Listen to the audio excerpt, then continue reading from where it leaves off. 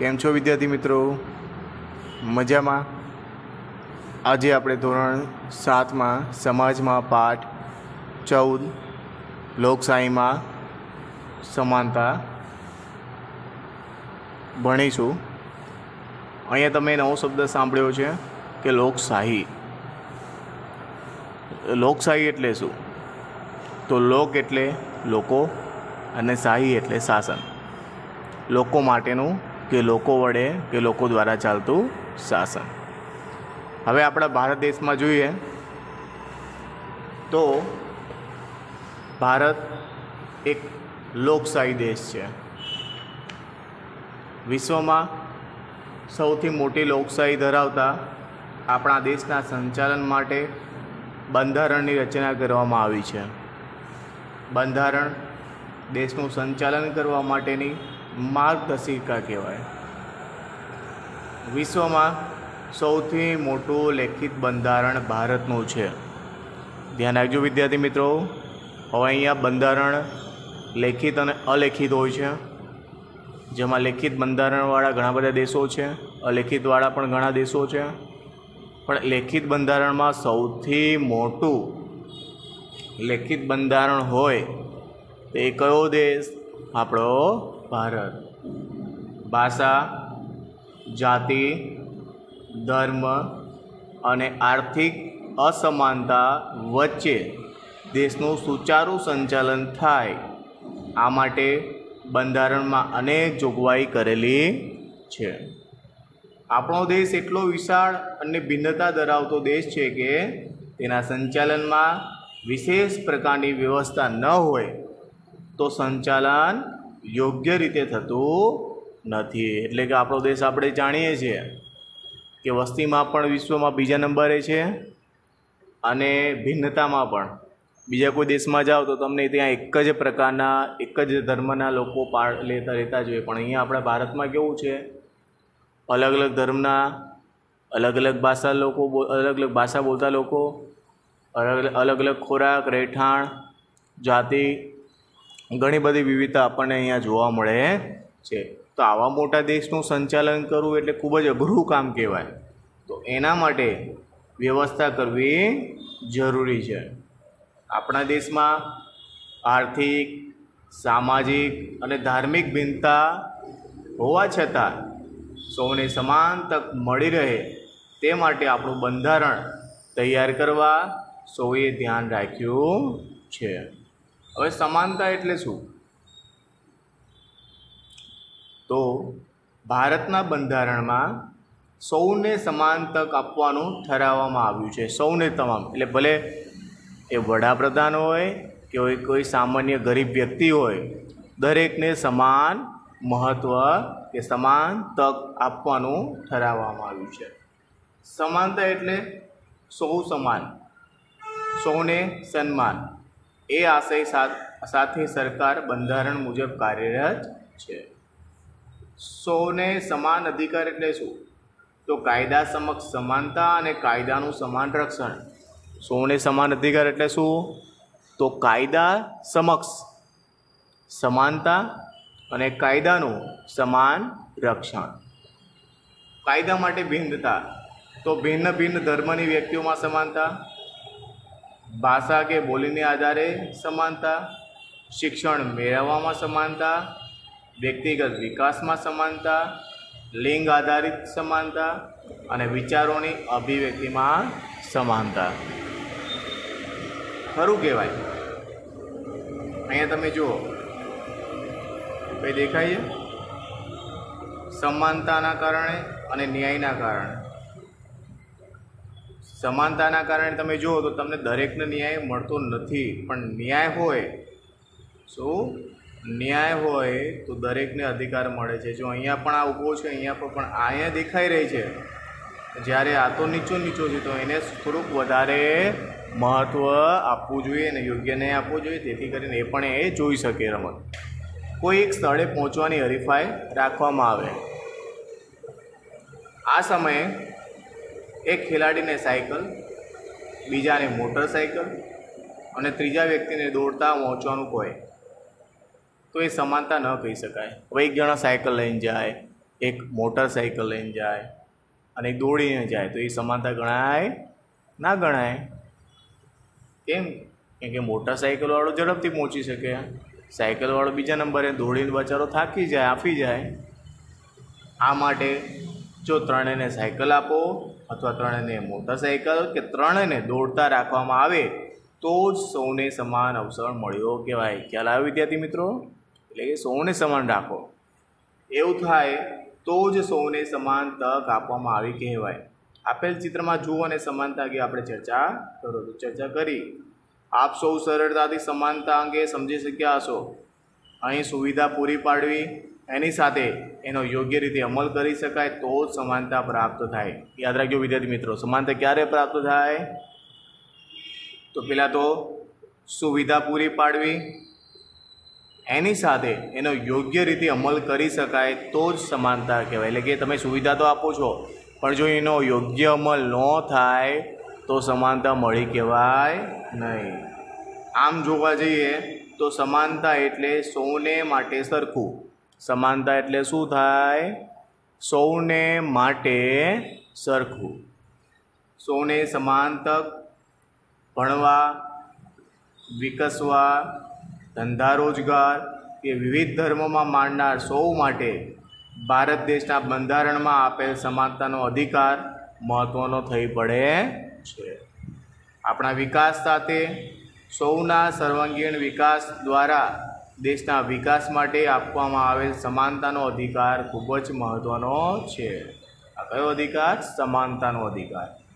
અને આપણા સ્વમાનને જાળવી રાખવા માટે પણ સમાનતાનો અધિકાર જરૂરી છે. શું જાળવી રાખવા? આપણી સ્વમાનને. હવે અહીંયા આપેલું છે મતાધિકાર. શું વિદ્યાર્થી મિત્રો? મતાધિકાર. તો તમે જાણો છો કે જ્યારે ચૂંટણીઓ આવે છે, ત્યારે ઘણો બધો લોક પ્રચાર થતો હોય છે, એક પ્રકારનો ઉત્સાહ જેવો માલ હોય છે. તો એ સમયે તો મતાધિકાર, તો મત આપવાનો અધિકાર કોને મળે, ક્યારે મળે, કેટલા વર્ષે મળે, તો એ જો શું આપણે જોયું કે બંધારણમાં સૌને વિવિધ પ્રકારની સમાનતા આપવામાં આવી છે. લોકશાહી એટલે શું? ધ્યાન રાખજો વિદ્યાર્થી મિત્રો, યાદ રાખવાનું છે, લોકોનું, લોકો વડે અને લોકો માટે ચાલતું શાસન એટલે લોકશાહી. ફરીથી વિદ્યાર્થી મિત્રો, લોકોનું, લોકો વડે અને લોકો માટે ચાલતું શાસન એટલે લોકશાહી. લોકશાહી સરકારની રચના લોકોના મતદાન વડે થાય છે.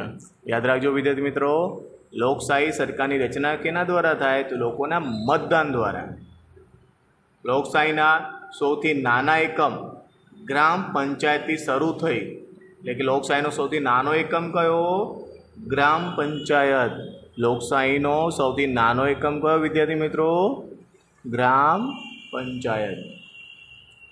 થઈ દેશની સૌથી મોટી પંચાયત એટલે સંસદની ચૂંટણી. સૌથી મોટી પંચાયત કઈ? સંસદની ચૂંટણી. મતદાન દ્વારા થાય. એટલે કે બધામાં મતદાન જરૂરી છે. હવે કોણ આપી શકે? તો જેની ઉંમર અઢાર વર્ષથી મોટી ઉંમરના દરેક નાગરિકને મતાધિકાર આપવામાં આવ્યો છે. અઢાર વર્ષથી મોટી ઉંમરના દરેક નાગરિકને મતાધિકાર આપવામાં આવ્યો છે. મતદાર યાદીમાં નોંધાયેલ કોઈ પણ નાગરિક મતદાન કરી શકે. જેનું નામ મતદાન યાદીમાં હોય એ કોઈ પણ નાગરિક મતદાન કરી શકે તો એના માટે શું હોવું જોઈએ? મતદાર યાદીમાં તમારું નામ હોવું જોઈએ. ધર્મ, ભાષા, લિંગ, બોલી કે આર્થિક અસમાનતા વચ્ચે સૌને બંધારણમાં સમાનતા આપવામાં આવે છે. ભલે આવી ભિન્નતા છે, ધર્મ અલગ, ભાષા અલગ, લિંગ, બોલી, આર્થિક સમાનતા. એટલે આર્થિક એટલે શું? તો કોઈ અમીર છે, કોઈ ગરીબ છે, કોઈ બધા સરખા નથી. અમુક ખૂબ જ પૈસાવાળો છે, તો અમુક ખૂબ જ ગરીબ છે, જે રોડ પર રહેતો હોય, ખાવા પણ બરાબર મળતું નથી. તો એ આર્થિક અસમાનતા કહેવાય. એ વચ્ચે સૌને બંધારણમાં સમાનતા આપવામાં આવેલ છે. દરેકને મતાધિકાર કરવાનો અધિકાર છે, મતદાન કરવાનો. અહીં મતદાન કરવાના અધિકાર અંગે રોચક વિગતો પણ તમારી સામે આવે છે. કોઈ ધાક, ધમકી, દાદાગીરી કે ડરને આધીન મતદાન ન કરે, એ માટે મતદાનને જાગૃત કરવામાં આવે છે. મતનું મહત્ત્વ સમજવા અને કોઈપણ પ્રકારના ડર વગર મતદાન થાય, એ માટે ચૂંટણી પંચ વ્યવસ્થા કરે છે. એટલે કે કોઈ ડરમાં એને કોઈને મત આપવું એવું નહીં, પોતાની જાતે જે યોગ્ય વ્યક્તિ છે એને જ મત આપવો જોઈએ.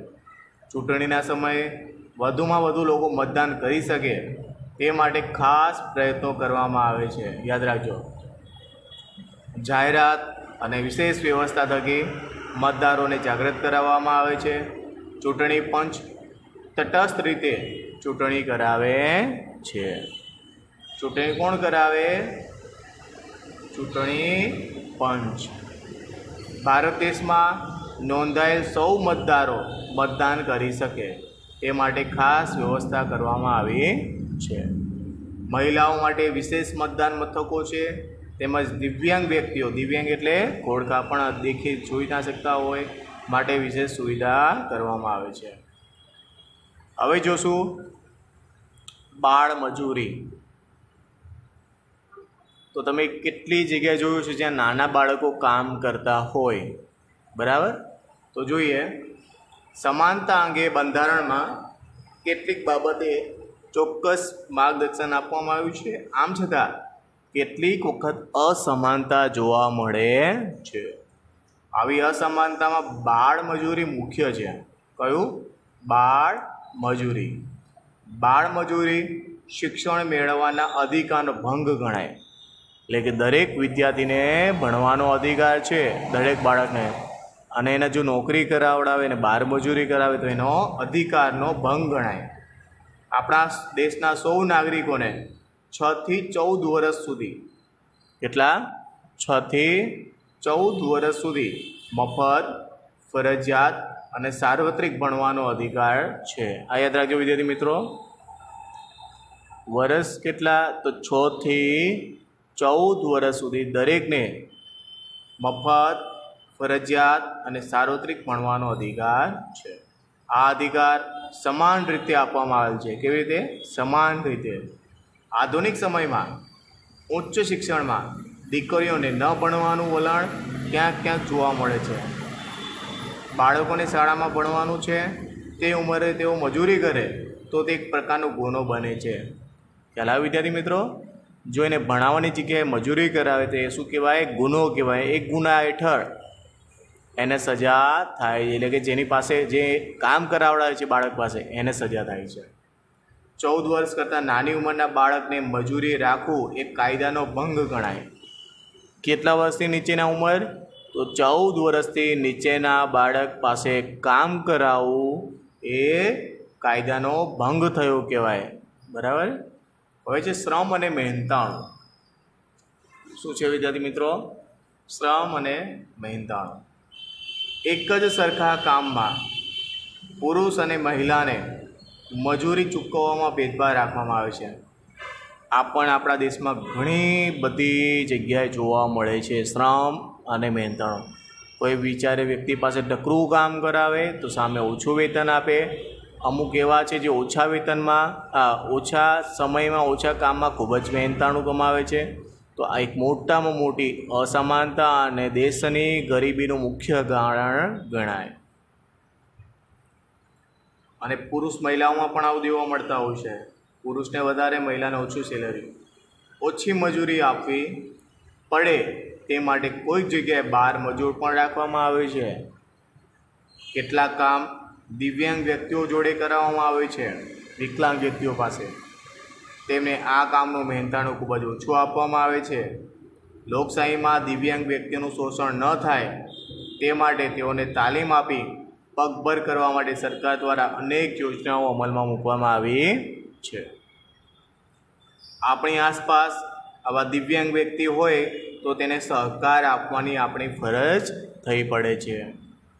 દિવ્યાંગો, સ્ત્રી અને નાના બાળકોને ઓછા પૈસા ચૂકવવામાં આવે છે, આ અન્યાય છે.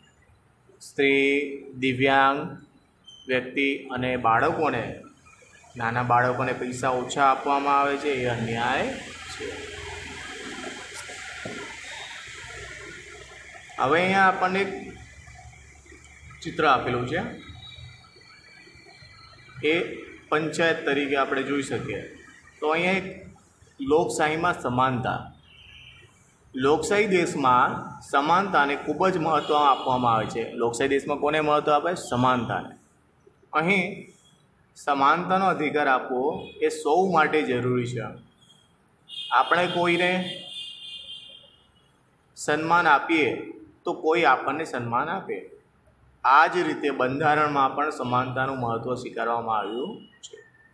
કેટલાક અવલોકનને આધારે જ્યારે દયાભાવ જોવામાં આવે ત્યારે સમજવું કે સામેવાળી વ્યક્તિને સમાન અધિકાર મળ્યો નથી. શું દયાભાવ જોવામાં આવે ત્યારે આપણે એવું સમજવાનું કે સમાન અધિકાર નથી મળ્યો.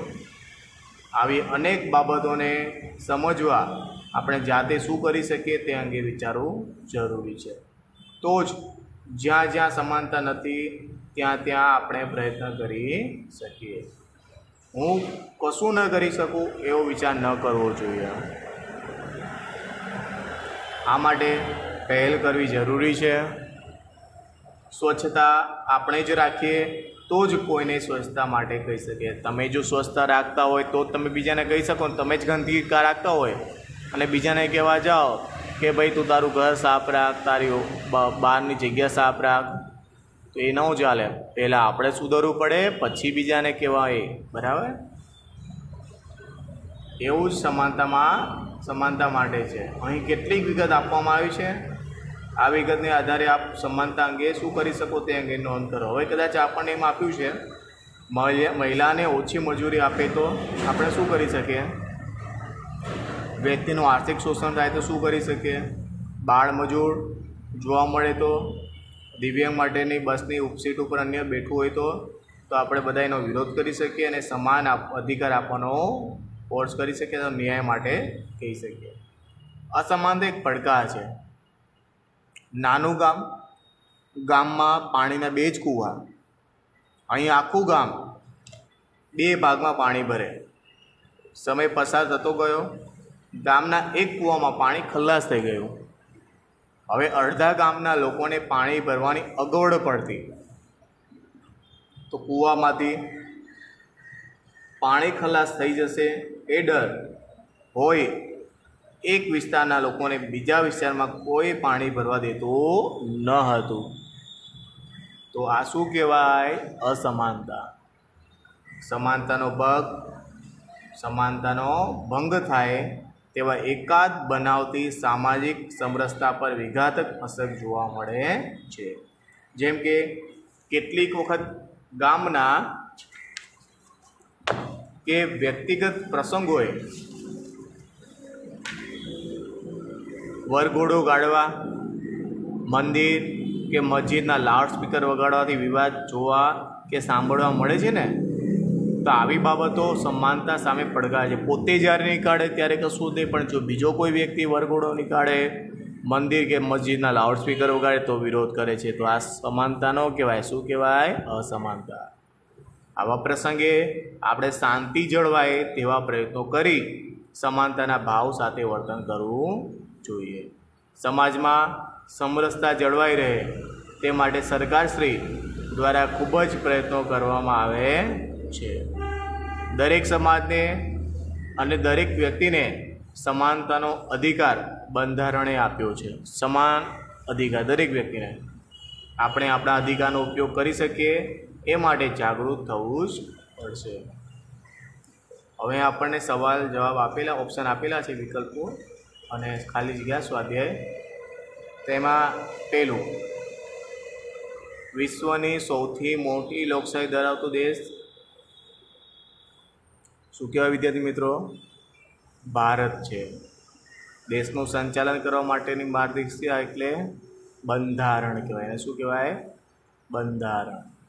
ભારતનું બંધારણ વિશ્વનું સૌથી મોટું લેખિત બંધારણ છે. કેવું છે? સૌથી મોટું લેખિત બંધારણ. લોકશાહી કોને કહેવાય? તો લોકોનું, લોકો માટે, લોકો વડે ચાલતું શાસન એને કહેવાય લોકશાહી. આપણને કઈ બાબતોમાં સમાનતાનો અધિકાર આપેલ છે? તો દરેક બાબતે આર્થિક, સામાજિક, સાંસ્કૃતિક, ગમે ધર્મ, જાતિ, લિંગ, શિક્ષણ, બરાબર? દરેક બાબતે આપણને અધિકાર છે. શોષણ સામેનો અધિકાર, વિરોધનો અધિકાર, બરાબર? વ્યક્તિના સર્વાંગી વિકાસ માટે કઈ બાબત જરૂરી છે? તો સર્વાંગી વિકાસ કરવો તો દરેકને સમાનતાનો અધિકાર યોગ્ય રીતે મળવો જોઈએ, જેથી તે પોતાનો વિકાસ સાધી શકે. મતે, મતાધિકાર કોને મળે? તો જેની ઉંમર અઢાર વર્ષથી ઉપર હોય અને જેનું નામ મતદાર યાદીમાં હોય, એને મતાધિકાર મળે છે. ચૂંટણી પંચ શી કામગીરી કરે છે? તો ચૂંટણી પંચે આપણે હમણાં જ જોયું. ચૂંટણી પંચ શું કરશે? ચૂંટણી પંચ શું કરે? આપણે મેં હતું કીધું. તટસ્થ રીતે ચૂંટણી કરાવે. શું કરાવે? તટસ્થ રીતે ચૂંટણી કરાવે છે. બાર મજૂરી શા માટે અટકાવવી જોઈએ? તો કારણ કે બાળકોને છથી ચૌદ વર્ષની ઉંમર સુધીના બાળકોને શિક્ષણ મેળવવાનો અધિકાર છે. જો તે બાર મજૂરી કરાવે તો ગુનો બને જે માટે બાર મજૂરી અટકાવવી જોઈએ. અહીંયા ટૂંક નોંધો છે. જે તમારે બેઠે બેઠે આમાં આપે છે કે જેમ કે લોકશાહીમાં સમાનતા. તે આપણે અગાઉ જોયું અહીંયા તમારે આટલું લખવાનું, લોકશાહીમાં સમાનતા બરાબર? ત્યાર પછી છે, મતાધિકારમાં સમાનતા એ આપણે અહીંયા જોયું આખું. બરાબર? વિદ્યાર્થી મિત્રો, આ લખવાનું છે. અને છેલ્લું છે, બાર મજૂરી કે બાર અધિકાર. એ આપણે જોયું. એટલે કે છથી ચૌદ વર્ષના બાળકોને મજૂરી ના કરાવવી જોઈએ. બરાબર, એ લોકોને ભણવાનો અધિકાર છે. આ તમારે અહીંયા લખવાનું છે, નોટમાં સારા અક્ષરે અને તૈયાર કરવાનું રહેશે. કે વિદ્યાર્થી મિત્રો, ચલો આવજો.